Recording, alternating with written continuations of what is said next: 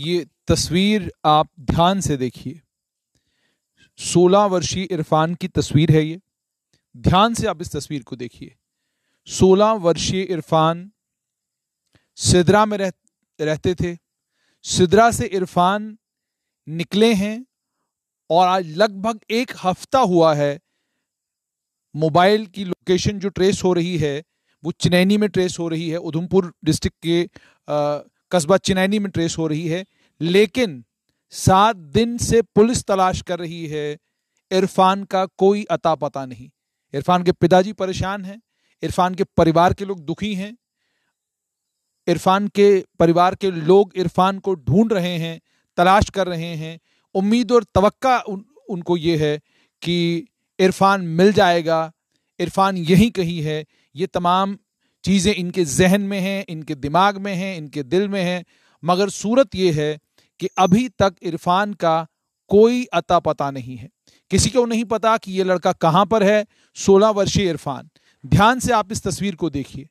ध्यान से आप इस तस्वीर को देखिए, कहीं पर भी अगर ये बच्चा आपको नज़र आता है, चिनैनी में, उधमपुर में, जम्मू में, कश्मीर में, डोडा, बदरवा, किश्तवाड़, रजौरी, पुंछ, किसी भी इलाके में अगर आपको इरफान नज़र आता है तो मेहरबानी करके इनके परिवार वालों से संपर्क कीजिए। और अगर परिवार से संपर्क नहीं होता, आप जिस भी क्षेत्र में हैं, आप जिस भी इलाके में हैं, आप जिस भी थाने के करीब करीब हैं, उस थाने के थानेदार को बताइए कि ये बच्चा घर से गुम हुआ है ये बच्चा घर से गायब हुआ है ये बच्चा घर से निकला है और निकलने के बाद चिन्हनी लास्ट लोकेशन इसकी मोबाइल बताता है हकीकत क्या है कहाँ पर है इरफान कहाँ पर नहीं है इस चीज़ को लेकर अभी तक असमंजस बना हुआ है। मैं इस वक्त उनके परिवार के लोगों के साथ आप तस्वीर आपने देख ही ली है मेरे साथ इनके परिवार के सदस्य हैं आइए इनसे बात करते हैं। आपका नाम मेरा नाम मोहम्मद अमीन खान है। अमीन साहब मुझे ये बताइएगा ये जो बच्चा है ये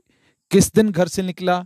आज कितने दिन हो गए और इतने दिनों में आपने क्या क्या? किया सर यहाँ बेसिकली ये यहाँ हमने मकान बनाया था बच्चों के पढ़ने के लिए। तो उस दिन वो बच्चा अकेला था बाकी सब परिवार वाले पुंछ गए हुए थे। ये कौन सी तारीख की बात है? ये अठारह तारीख की बात है। आप ध्यान से सुनेंगे अठारह सितंबर 2021 इरफान घर में था। तो दो बच्चे थे हमारे यहाँ तो वो छोटे भाई को बोल के गया कि मैं जा रहा हूँ लाइब्रेरी में पढ़ने के लिए। एज़ यूजली जैसे घर से जाते हैं बच्चे। तो सुबह साढ़े छः बजे गया वो तो वहाँ जाके यहाँ से निकला तो उसको बोल के आया कि मैं जो है वापस आ जाऊँगा। शायद मैं किसी दोस्त के साथ जा रहा हूँ तो मैं शाम को वापस आ जाऊँगा। लेकिन उसके बाद ये अठारह की ही बात है साढ़े दस बजे उसकी जब ये शाम को हमने देखा कि नहीं आया तो हमने मिसिंग रिपोर्ट की में कितने बजे निकला था इरफान घर से? सुबह साढ़े छः बजे। साढ़े छः बजे सुबह निकला है ट्यूशन पढ़ने के लिए कि मैं लाइब्रेरी जा रहा हूँ वहाँ पढ़ाई करूँ। जी जी लाइब्रेरी में जाके पढ़ूँगा तो इरफान करता क्या था? वो ट्वेल्थ क्लास में पढ़ा था Ranbir higher secondary school Jammu में। तो एज़ यूजुअल जैसे बच्चे निकलते हैं तो वो गया तो दिन को तो पता नहीं करता कोई बच्चों को क्या करते हैं, क्या नहीं, सब अपने काम में लगे थे। तो शाम को जब हम सर्च करने लगे, जब वो उस टाइम पे नहीं आता, आया है तो शाम हो गई काफ़ी तो हम फिर सिदरा चौकी पे गए, वहाँ मिसिंग रिपोर्ट किया। तो उसके बाद उन्होंने भी कहा कि दोस्तों से पूछ लो, जो उसके दोस्त फ्रेंड जो भी सर्कल है, उसका हमने सबको पूछा। लेकिन उन्होंने कहा कि इन दो दिनों में उनसे, उससे हमारी मुलाकात नहीं हुई है, क्योंकि कोविड है, सब अपने घरों में हैं। तो उसके बाद फिर दूसरा, तीसरा, चौथा करते करते मतलब आज आठ दिन हो गए। मतलब पुलिस भी हेल्प कर रही है हमारी मतलब उधमपुर पुलिस है। स्पेशली में जो अहमद शाफी साहब हैं वहाँ S D P O Chenani में, वो बड़े हेल्पफुल रहे हैं हमारे लिए, उन्होंने की हमारी मदद। लेकिन मैं ये कहता हूँ कि यहाँ से बच्चा साढ़े छः बजे जाता है, साढ़े दस बजे उसकी लोकेशन चनैनी में आती है। तो सेम डे को, अठारह को तो उसके बाद वो फ़ोन वहाँ उसका स्विच ऑफ़ हो जाता है। उसके बाद चार दिन फ़ोन उसका स्विच ऑन नहीं होता है। चार दिन के बाद फिर उसका जो जब ऑन करता है फ़ोन तो लोकेशन फिर चनैनी आती है।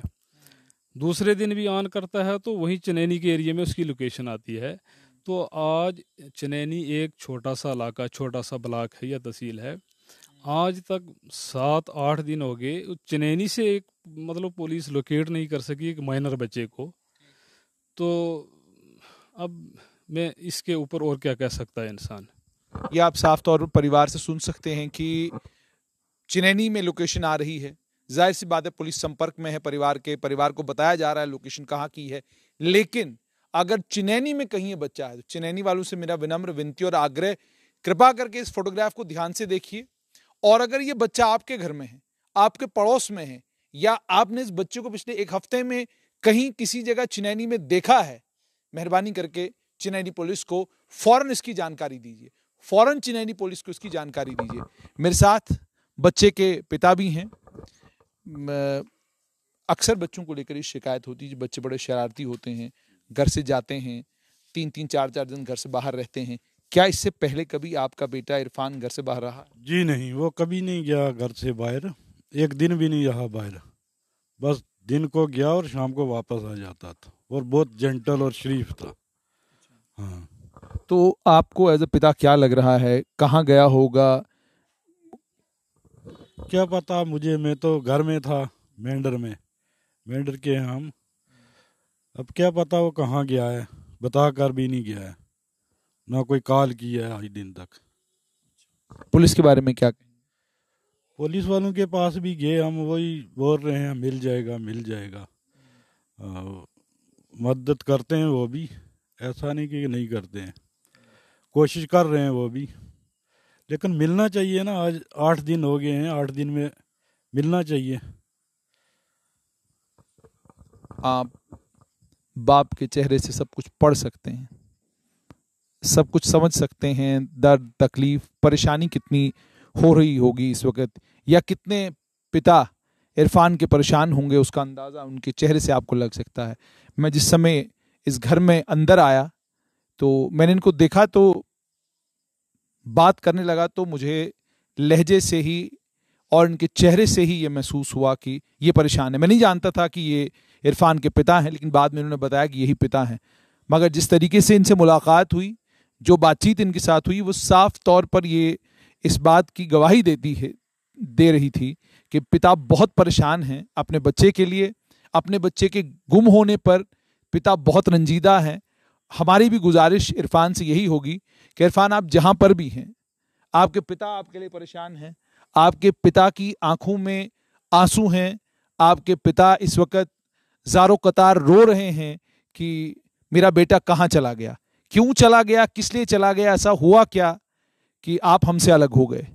आप इस परिवार को देख सकते हैं, इस परिवार के दुख को, दर्द को। जम्मू कश्मीर की आवाम और बाहर जम्मू कश्मीर से जो लोग मुझे देख रहे हैं, मेरी आपसे गुजारिश कि इस वीडियो को आपने हर जगह, हर कोने तक जम्मू कश्मीर के पहुंचाना है, ताकि जहाँ कहीं भी 16 वर्षीय इरफान हो वो उस सो, इस 16 वर्षीय इरफान को आपने पहचानना है इसको आपने ढूंढ निकालना है इसने इस जहाँ पर भी आपको दिखता है। तस्वीर ध्यान से देखिएगा क्योंकि सारा मामला तस्वीर का है। तस्वीर ध्यान से देखिएगा और इस तस्वीर को देखकर आपने बस करना इतना है कि इस परिवार की जो उम्मीदें टूटी हैं क्योंकि सात दिन हो गए पुलिस अपना काम कर रही है लेकिन जब तक कामयाबी नहीं मिलती तब तक परिवार वालों को दुखी होने का पुलिस से परेशान होने का, पुलिस से नाराज़ होने का पूरा पूरा हक है। क्योंकि उम्मीदें और तवक्का जो हैं, वो पुलिस से ही हैं कि पुलिस करेगी, पुलिस ढूंढ निकालेगी। और अभी तक जो इन्फॉर्मेशन भी शेयर की है परिवार के साथ पुलिस नहीं की है। पुलिस कोऑर्डिनेशन में काम कर रही है, मगर निकल के कुछ नहीं आ रहा। अंत में फिर आप सभी लोगों से गुजारिश कि इरफान को ढूँढने में जम्मू कश्मीर पुलिस की और इस परिवार की मदद कीजिए। और अगर आपको पता लगता है और आप पुलिस से संपर्क नहीं करना चाहते तो मेरे साथ इरफान के परिवार के लोग हैं। मैं इनसे कहूँगा आपको अपना मोबाइल नंबर बताएँगे टेलीफोन नंबर बताएँगे आप सीधा इनसे संपर्क कर सकते हैं अगर आप टेलीफोन नंबर जी मेरा फ़ोन नंबर है nine five nine six three double two six one two. जी nine five nine six three double two six one two. तो आपने मोबाइल नंबर सुन लिया है। मेहरबानी करके अगर कहीं पर भी आप इरफान को देखते हैं तो इरफान के परिवार वालों के साथ संपर्क करिए। ताकि इरफान अपने घर वालों के पास वापस आए।